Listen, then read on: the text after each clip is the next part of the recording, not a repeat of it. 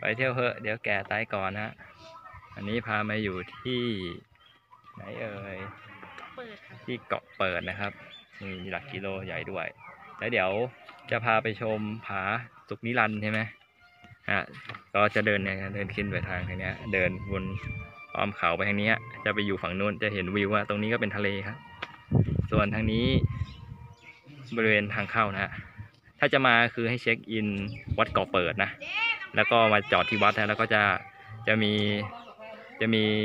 จะมีผาสุนิรันอยู่อยู่ตรงนี้แต่เช็คอินเวลาเช็คอินเช็คอินวัดเกาะเปิดก็ได้เพราะบางทีเช็คอินผาสุนิรันอาจอาจจะงงหน่อยฮะแล้วก็ทะลุตัวตัวเมืองเกาะเปิดนะฮะเป็นตำบลเกาะเปิดฮะอยู่ในอำเภอแหลมสิงห์นะครับจังหวัดจันทบุรี